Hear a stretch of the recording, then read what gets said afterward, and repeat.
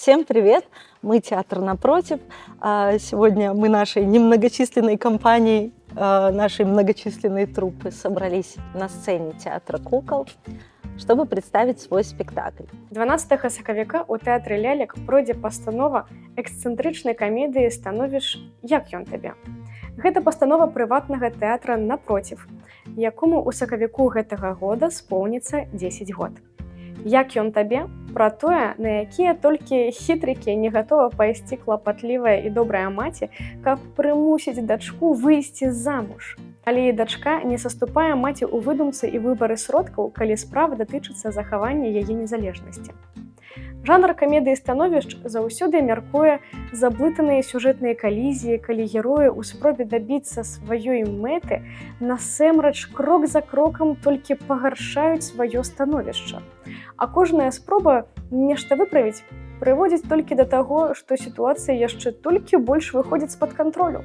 Аўтар тэксту Михаил Хейфец, рэжысёр Ірына Пашэчка. Ролю маці выконвала абаяльная Яніна Малінчык, ролю дачкі Маргарыта Валавікова. А ўвогуле атрымалася яскравае вясёлае шоу. Добры спектакль, пасля якога галоўнай думкай застаецца тое, што каханне, калі яно ёсць, пераадужыць усё астатняе. Кожны вырашыць для сябе сам, ці марыць гераіні спектаклю пра каханне, ці ім добра ў тым стане, у якім яны знаходзяцца. Што застанецца пасля прагляду, так гэта здавальненне ад добрай гульні актрыс. А за гэта дзякуй і ім і Ірыне Пашэчка, якая зрабіла так, што выступ у одну гадзіну 40 прамельгне як адно імгненне. А каб тэатраў і пастаноў было больш, нам з вами трэба таксама дапамагчы, распавесці іншым, набыць квіток і схадзіць на пастанову і яшчэ адзін квіток падарыць сябру. Давайте хадзіць у тэатр. Гэта іншы і чароўны свет, які дапамагае нам правільна жыць у гэтым.